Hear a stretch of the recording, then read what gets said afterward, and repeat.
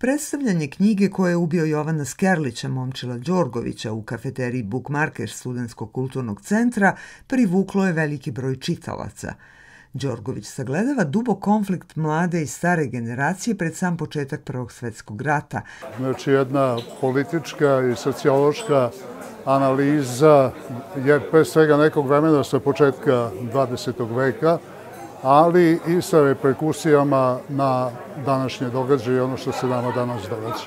Međutim, očigledno je da neki događaji koji su se onda zavitlali i pokrenuli traju i dan danas. To su procesi dugog trajanja i posledice onoga što se tada desilo, odnosno te elite koje su to radile, tada radile, pokrenule te događaje, mi posledice podnosimo i danas. Veliki protivnik srpskih radikala, Jovan Skerlić bio je ubeđen da njihov vođa Nikola Pašić mladu balkansku državu vodi uništenje i ambis.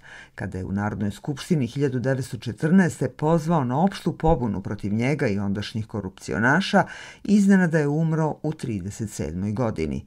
Mnogi su tada smatrali da je otrovan. Skerlića nemamo, to je jedan izuzetan duh, jedan od najvećih beogradskih intelektualaca svih vremena, a s obzirom da su Nikolu Pašića zvali mediokritet, koji se vešto popeo na te vrhove, mi znamo da ovde ima puno mediokriteta.